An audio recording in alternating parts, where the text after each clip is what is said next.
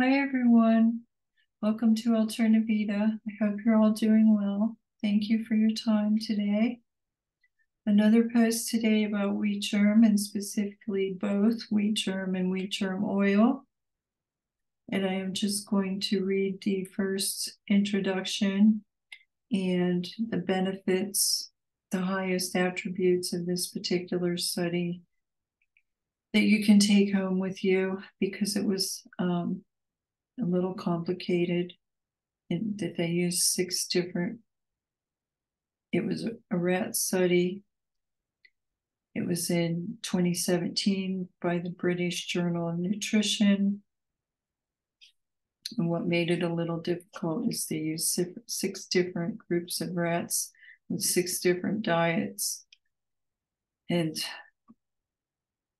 no variables some variables in both variables, wheat germ and wheat germ oil.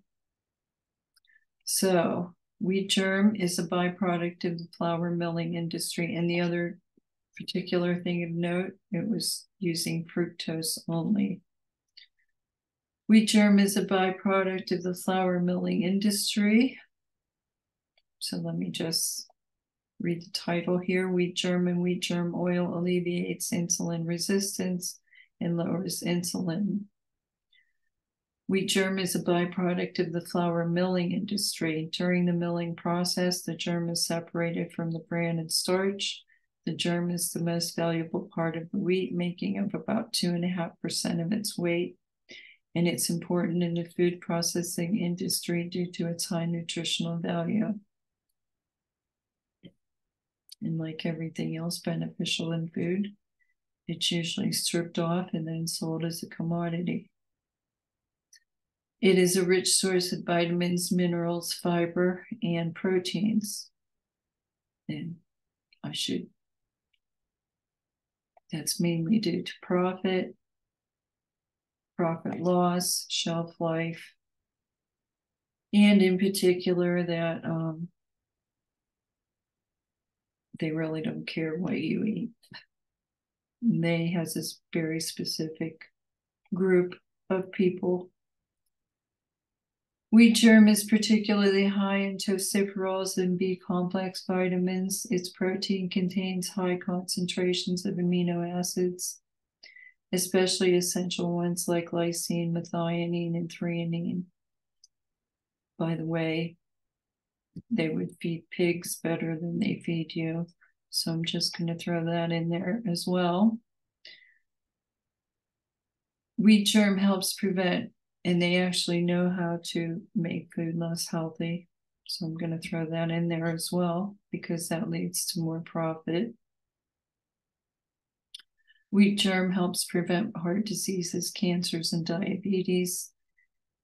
It, because they all these industries slush funds, lobbyists, they all feed each other. So when one profits, they all profit. It also helps reduce obesity and slow the aging process. Wheat germ contains as much as 10% oil, which is used in many products. Wheat germ oil is extracted from the germ of the wheat kernel. Wheat germ oil is a beneficial source of essential fatty acids, protein, minerals, and is high in vitamins A, D, E, and B. From the last article, he learned that without these, there was a major um, increase in malnutrition, beriberi, um, pellagra, and anemia. Wheat germ oil is considered a natural antioxidant due to its high vitamin E content, content, which inhibits inflammation. Wheat germ oil can lower oxidative stress, improve lipid metabolism, and decrease blood sugar and cholesterol levels. Metabolic disturbances refer to a state character, characterized by at least three cardiovascular risk factors hyperglycemia, dyslipidemia, obesity, fat storage, and hypertension. This condition involves oxidative stress, insulin resistance, and chronic inflammation. The aim of this study was to analyze wheat germ and investigate the possible protective effects of wheat germ powder and oil on rats fed a high fat and high fructose diet. So it was from the British Journal of Nutrition in 2017. And interestingly, now they are specifically looking at fructose as well as um, other studies I've been looking at. They they are studying the effects of all different types of sugars, sucrose, glucose, fructose, um, allulose. Um, what are some of these other new types of sugars that they're beginning to put in foods? Anyway, they're breaking them down to see the specific effects, as does this one. so wheat germ and wheat germ oil showed significant reductions in blood glucose, serum lipid profiles, liver and kidney function markers, TNFA, leptin, that's key, and resistin while increasing glutathione and enzyme levels. So the enzymes they helped produce were antioxidant en- enzymes. And what what is the particular component that helps induce autophagy? And that sorry, that is spermidine, a naturally occurring polyamine in various foods, including wheat germ. It plays a crucial role in cellular functions such as growth, proliferation, and differentiation. In wheat germ, spermidine is present as part of its nutritional profile. Spermidine has gained attention for its potential health benefits, particularly in producing, promoting autophagy, a cellular process that helps maintain cellular health by degrading and recycling damaged cellular components. This process is associated with various anti aging and disease prevention efforts.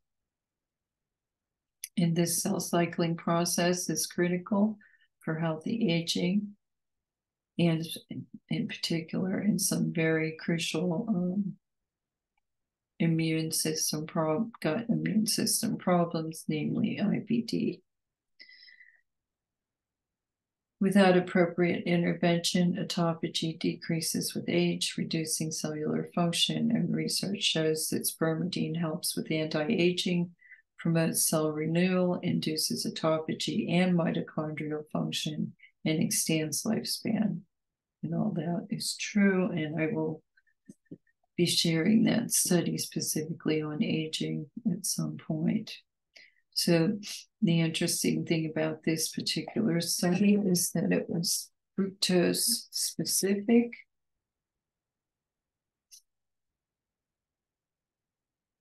And then um,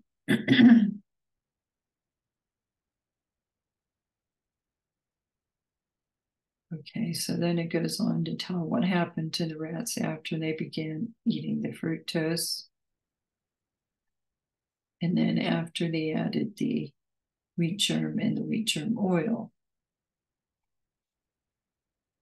So the groups fed the high fat and high fructose supplemented with wheat germ powder or oil showed significant reductions in blood glucose, serum lipid profiles, liver and kidney function markers, TNFA, leptin, and resistin, while increasing glutathione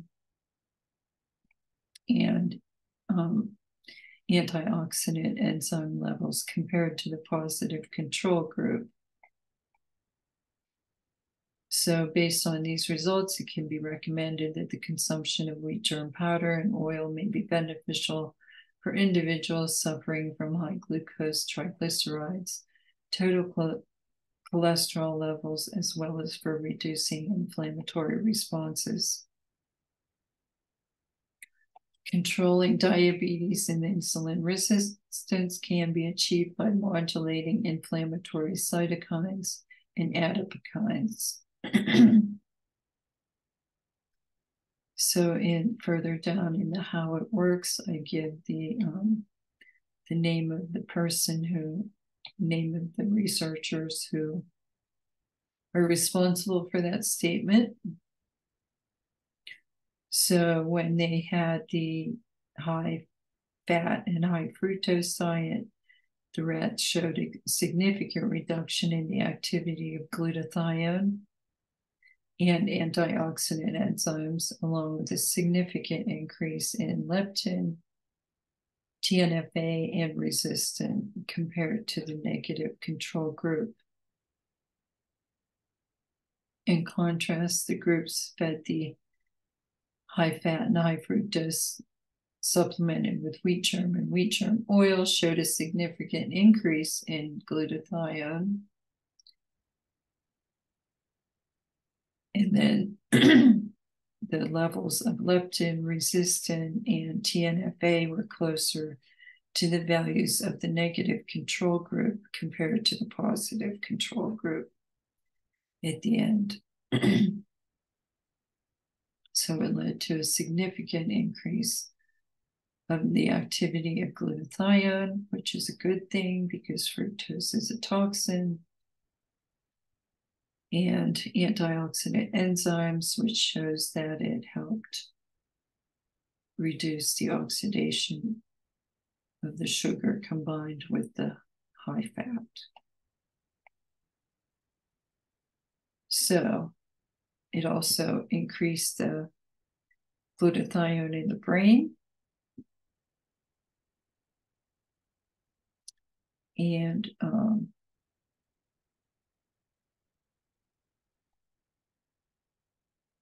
it improved lipid profiles, reduced blood glucose levels, inflammatory cytokines, and lowered insulin.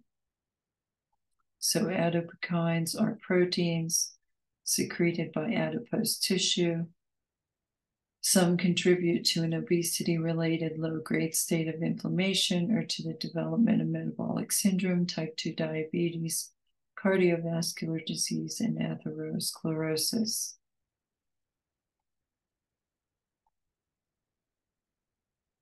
And starting from the fourth week, some of the mice started gaining more weight than others, and that was the ones on the high fat high sugar diet compared to the control. And it also had an impact on how much they ate.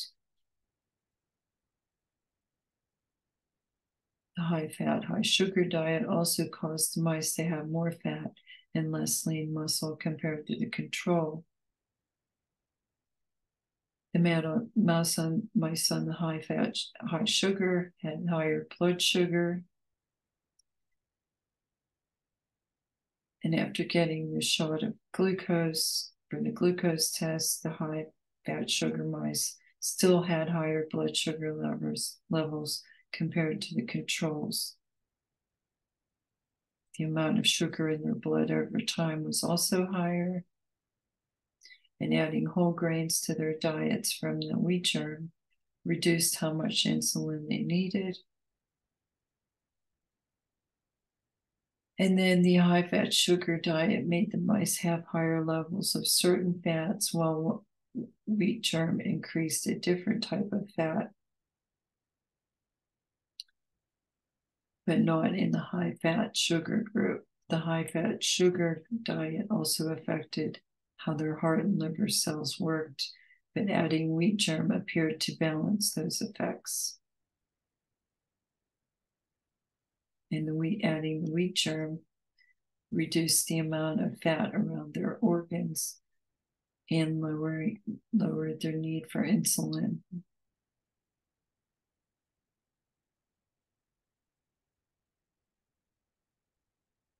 Okay, the high fat sugar diets decreased lean mass and increased fat mass by 32% compared to control. So after 11 weeks, they began doing the glucose tolerance test. In the high fat sugar diet had 23% higher baseline blood glucose compared to the control.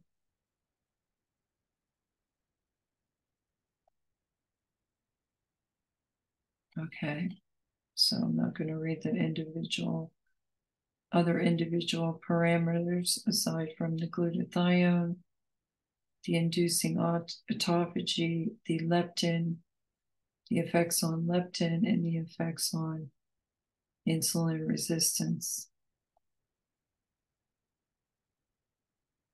So, um,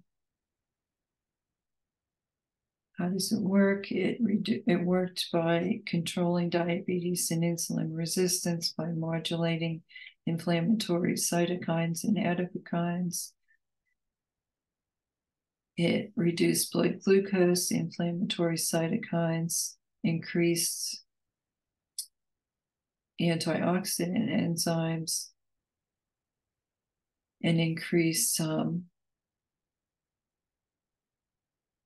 glutathione, and it, there was also a reduction in leptin, inflammatory markers, and resistin. And maybe the results may be due to the antioxidants, phenols, and flavonoids, which protect unsaturated fats in the body from oxidation. This aligns with reported findings that oral supplementation of wheat germ oil significantly increased the activity of antioxidant enzymes, GPX and SOD, superoxide dismutase, can't remember the name of the other one, compared to the positive control. So the wheat germ was from Oklahoma red winter wheat. And they added to the control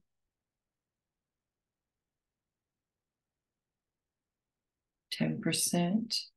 The wheat germ diets were adjusted to have the same macronutrient composition.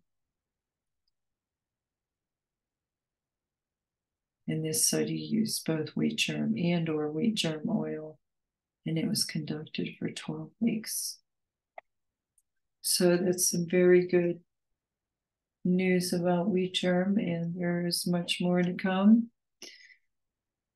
particularly on aging, autophagy, specific gut conditions.